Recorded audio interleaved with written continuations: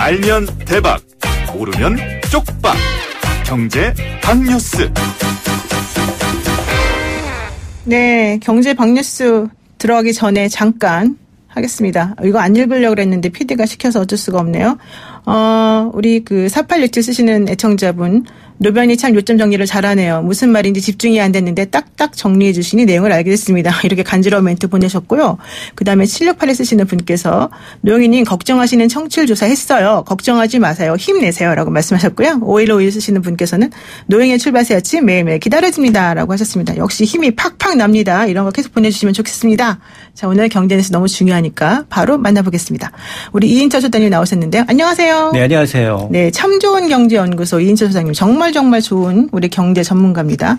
그런데 이거 정말 궁금해요. 한국은행이 예상대로 기준금리를 또 인하를 했잖아요. 맞습니다. 이게 역대 최저 수준이다 이런 얘기가 있던데 음. 정말 경기가 그렇게 안 좋습니까? 그렇습니다. 오늘 지금 어제 문재 대통령이 긴급 이 경제장관회의를 소집을 했어요. 네. 근데 지금 경제장관이 자리를 비웠습니다. G20 회담에 가 있어요. 아 그렇군요. 네, 오늘 사실 금통위는 오늘 예정돼 있는데 G20 회담 때문에 이주열 총재 부재로 어제 하루 앞당겨서 열렸던 거고요. 그리고 어 이제 홍남기 경제부총리도 G20 회담차 부재인 경우에도 지금 이례적으로 청와대가 이제 경제 관계 장관 회의를 긴급 소지할 만큼 상황이 녹록지가 않습니다. 한국은행은 지난 7월에 이어서 석 달 만에 금리를 또다시 낮췄습니다. 연 1.25%입니다. 네. 이게 역대 가장 낮은 수준이고요. 자, 금리를 왜 이렇게까지 내려야 했느냐. 일단 이 미중 무역 분쟁으로 세계 경기 교역이 좀 둔화되고 있죠. 여기에다가 내부적으로는 건설 투자, 설비 투자, 부진이 계속해서 이어지고 있습니다. 그렇군요. 거의 1년 가까이 투자가 부진하고요. 여기다가 지난 두 달 동안은 물가까지 떨어지고 있습니다.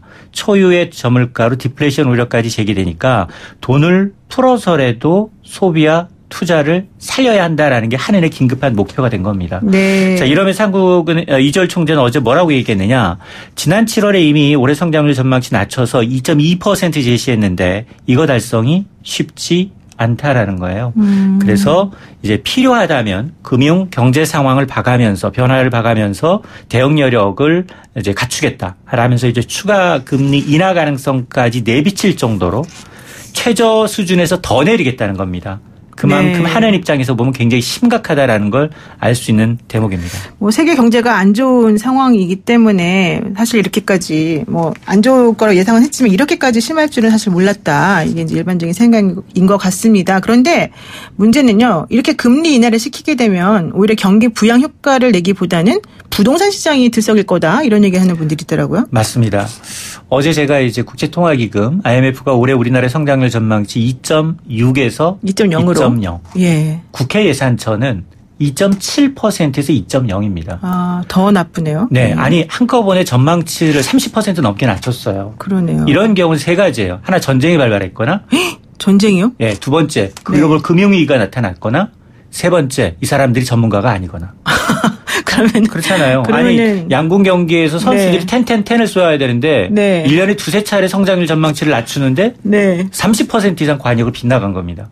그러면 전쟁도 아니고 그다음에 금융 전문가가 아닌 것도 아니니까 하나밖에 없네요, 답은. 그러니까 굉장히 많이 어렵다는 거예요. 아, 그 그렇군요. 준하는 수준으로. 네. 그 금융 위기에 준하는 수준으로 그만큼 경기가 어렵다는 건데 그러면 과연 이 돈을 푼다는 정책이 과연 경기 부양에 효과가 있을 거냐. 네. 전문가들은 대부분 회의적입니다. 지금 시중에 돈이 없는 게 문제가 아니라는 거죠. 그렇죠. 지금 이 금리를 인하하는 건 투자 소비를 촉진하고자 하는 건데 지금은 미래에 대한 불확실성 때문에 기업들은 투자를 안 하고 현금을 쟁여놓고 있고요. 가게 역시 소비를 줄이고 있다라는 게 문제예요. 네. 한마디로 돈이 돌고 있지 않다라는 않다. 겁니다. 근데 그런 유동성은 어디로 흐르느냐? 자칫 잘못하면 경기 부양 효과보다는 부동산 시장이 불쏘시개가 될 수 있다는 겁니다. 어. 이런 지금 역대 최저 수준으로 지금도 금리가 많이 낮은 데다가 이 대출 이자 부담이 줄어들게 되면 서울과 수도권 지금 들썩들썩하고 있는 지역 인기 지역을 중심으로 집값 상승을 부추길 수 있다라는 거고 네. 이제 그렇다면 금리도 낮은 데다가 특히나 경기 침체로 주식과 같은 펀드와 같은 데서 계속 마이너스 수익률이 나다 보니까 대체할 투자처가 없다는 겁니다. 그렇죠. 여기다가 정부가 부동산 규제로 정확하게 아 규제를 피한 곳 규제를 다 받을 곳 정확하게 가르쳐 주고 있어요. 돈이 어디로 흐르겠습니까? 그럼에도 불구하고 이런 이제 가계부채 문제, 부동산 투기 문제, 이런 이제 우려에도 불구하고 구덕이 무서워서 잘 못 닦을 거냐. 경기 하강 속도가 심상치 않다. 혹시 일자 찍을 수도 있지 않겠느냐? 오. 1%대 성장률 전망치를 막아야 된다라는 그런 이제 아주 어, 긴급한 이제 목표 때문에 이처럼 돈 더 풀 수도 있다라는 시그널을 계속해서 주는 겁니다. 그러니까 추가 금리 인하 얘기가 나오면서 기준금리가 1% 아래로 내려갈 가능성도 있다 지금 이 얘기인데요. 네. 그러면은 어떻게 해야 돼요? 돈은 지금 넘쳐나는데 사실 돈은 어디다 마땅히 투자할 데가 없어 이런 일이 벌어지는 거잖아요. 맞습니다. 그럼 경제 전문가로서 어떻게 해야 됩니까? 저는 금리 일단 말고 예. 아니 몸에 좋은 약은 입에 써요. 네. 근데 청와대 경제수석은 우리 경제 선방하고 있다고 하죠. 지금 나오는 고용지표 보셨죠? 고용지표 겉으로 보면 우리 경제 굉장히 잘 나가는 것처럼 보이지만 전혀 체감이 안 돼요. 아. 민심을 오히려 이반하고 있고 경제에 대한 불신을 더 키우는 겁니다. 네네. 정확하게 현상 파악을 해야지 처, 처방이 나오는데 네. 위에서는 경기 좋다? 어 그리고는 왜 그러면 청와대 긴급 경제 장관회의는 왜 소집을 합니까? 음. 그러니까 너무 내년 총선이나 대선에 정치에 함몰돼서 경제가 지금 너무 지금 망가지고 있다라는 게 굉장히 느껴지는 현실인데 네. 이걸 보지 않고 무조건 위에서는 좋다 좋다 좋다 최장 늦어도 올 연말이면 경제효가 좋아진다라고 경제 수장 바꿨잖아요. 네. 근데 경제는 안 좋아지니까 외부 탓하고 있잖아요. 네. 아, 지금 그렇군요. 경제 글로벌 경제 때문에 잘못하는 거지. 우리는 선방하고 있다.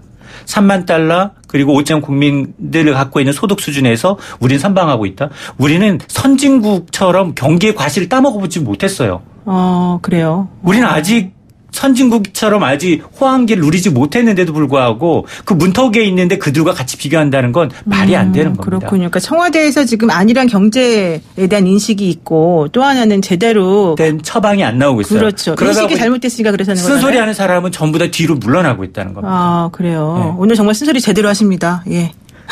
원래 이런 분이 아닌데.